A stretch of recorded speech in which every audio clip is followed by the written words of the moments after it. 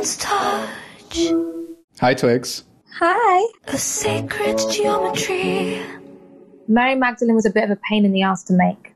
I know where you start, where you end, how to please, how to curse. I think it's like the most complex song I've ever made.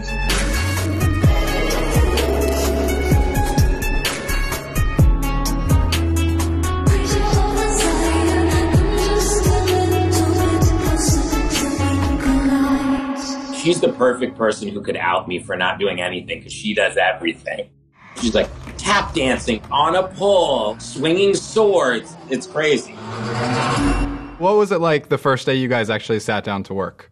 She's unlike any other artist you work with. She'll like bring in little like potions and like and like like readings. And she was like, "Do you know about Mary Magdalene?" The original story is that she was a prostitute and she was filled with sin. But then it came out that she had a really amazing and extensive knowledge on oils and she was a healer and she was in many ways what we call a doctor now. I think that that duality really excited me.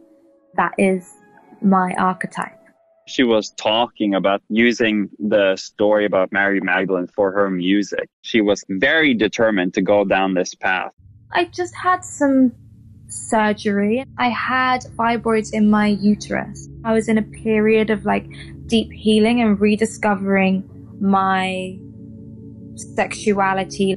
Mary Magdalene helped me ground myself in who I am. Before like I knew it, we were like drinking the Kool-Aid. I was believing whatever she said.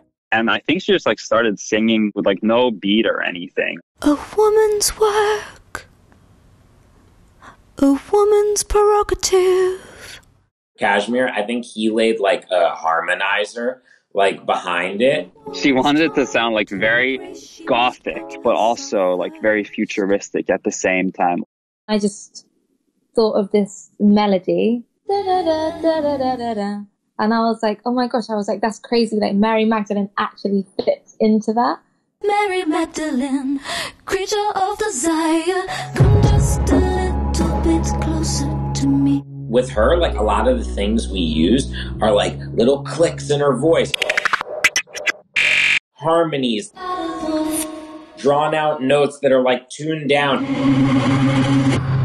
She'll be like, it should be like, wah, wah, brr, bah, bah. you know, she'll like do and you'll just be like, and you're like, just like trying to program it quick enough.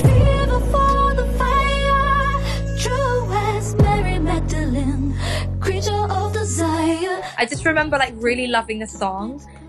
Being at Benny's house, realizing in that session that the name of my album was Magdalene.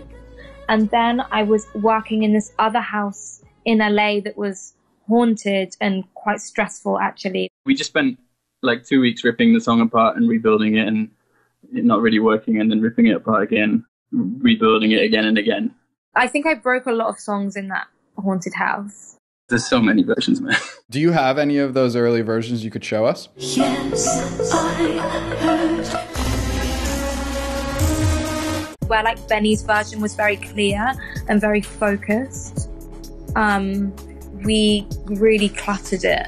Was she frustrated throughout this process or was she exhilarated by it? Oh no, she's just excited. She's like a kid. I want to try that. Can, can we do that? Can we do this? I love practicing stuff.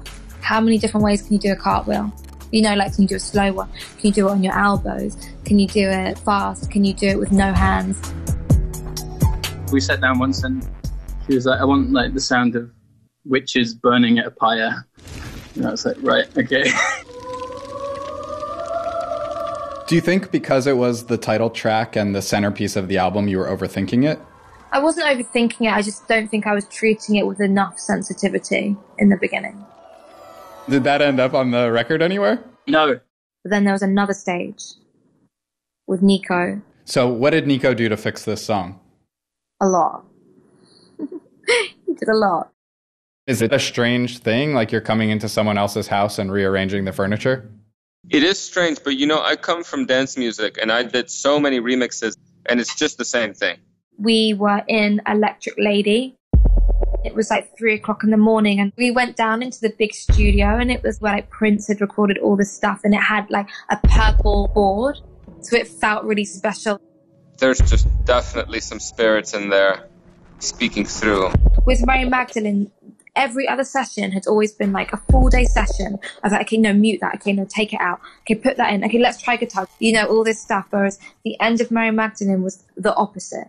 It was complete calm and there was just this magic kind of like 30 minutes to an hour when Nico just like his energy like just grew in the space. I remember like re kind of doing the chords, and I started feeling a bit more of like that w- that there was a direction or something. As soon as it had like the, a darker feeling, that's when it actually came to life.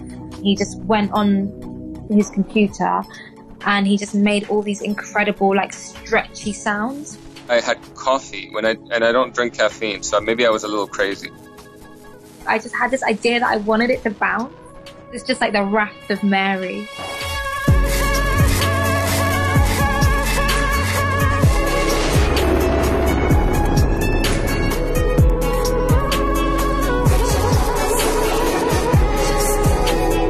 He found like a hardness in air, and that felt truly like evoking her spirit. Do you dance? Do you jump around like when something finally hits? you know, I don't think I did on that because I didn't want to like, you know, when something's happening in front of you and you're just like, does nobody move? Everyone stay really still. You know, no one change anything. No one even put the aircon on. Everything has to stay exactly the same. It was kind of one of those moments.